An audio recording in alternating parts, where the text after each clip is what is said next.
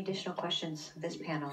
Is it possible to just address one issue, which is herd immunity, which is, this is all about? And I'd like to speak about our side on that. Would anyone ask the question about that so I could answer to it?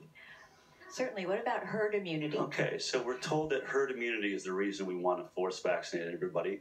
We know that the MMR vaccine needs a 95% vaccine uptake.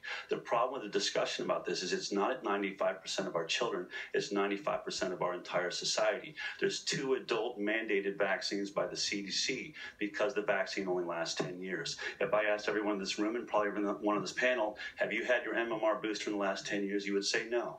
That means that we've never been near 95%. We're about 60%. So this entire herd immunity discussion does not count on your, your teachers, your taxi drivers, your bus drivers, your restaurants. Every adult in America, for the most part, has not had their boosters. So we're at 60%, not 95%. Herd immunity is a myth. It's an advertising slogan from the pharmaceutical industry to get us to force vaccinate the tiny 2, per th- 2 or 3% of unvaccinated children. That will not get us there. So there have been no outbreaks that have destroyed this country, even though we have never reached the herd immunity threshold. That is a fact, and I would like any of the people that were up here before to address that issue. Thank you.